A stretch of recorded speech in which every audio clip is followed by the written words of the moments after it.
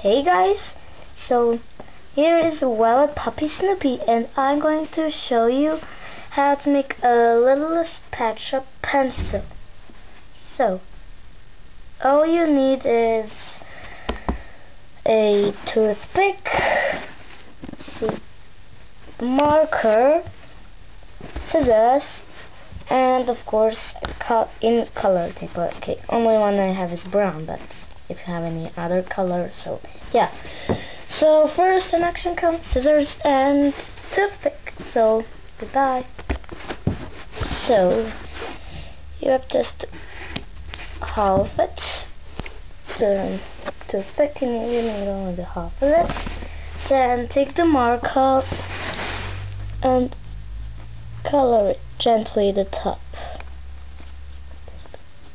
Color there we go. Uh, it will have to look like this. See, that's the black top. It's not in HQ.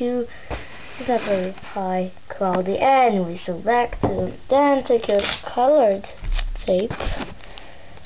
Tape it around the pencil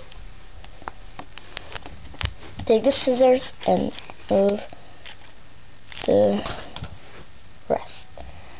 Then just take if you did a cover and ta-da! You made a pencil.